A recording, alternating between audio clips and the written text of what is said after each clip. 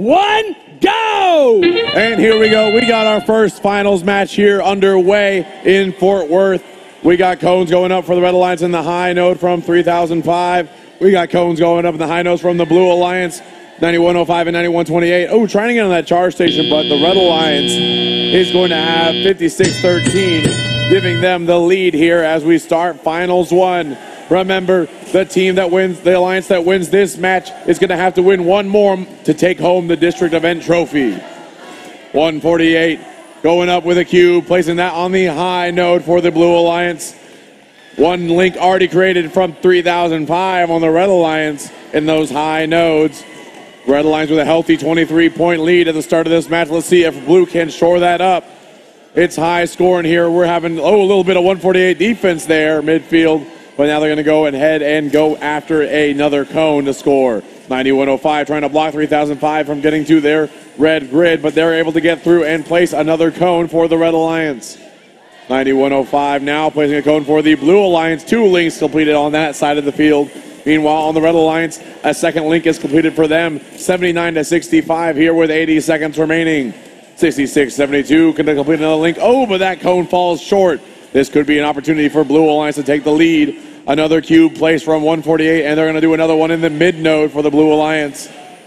Still 84 to 73. Red Alliance does have that lead. 66 72 trying to place that cone once again. Going to go up and complete another link for the Red Alliance. That's four links now for Red, two for the Blue.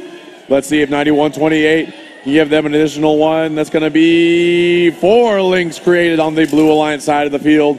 It's neck and neck 93 to 104. It looks like it's going to come down to that final end game.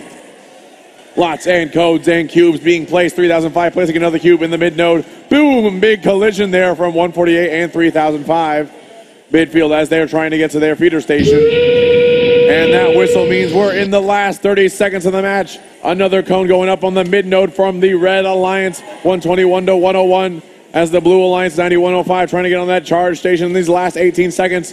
148 trying to score one more cone before they have to get on that charge station as well. That cone's going to go up and try to complete one more node. 10 seconds left.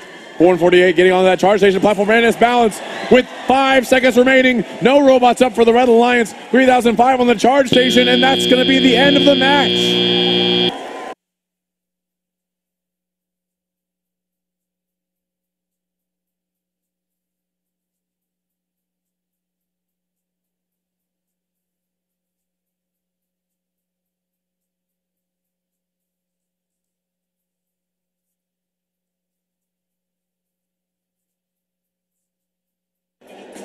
All right, and here comes the result of that last match. It's going to be a Blue Alliance victory.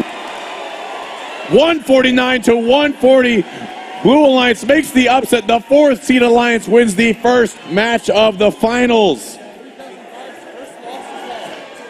And with that, they take the 1 0 lead here in the best two out of three. We'll be back for finals match two in a few minutes, but now it's time to hand out some more awards.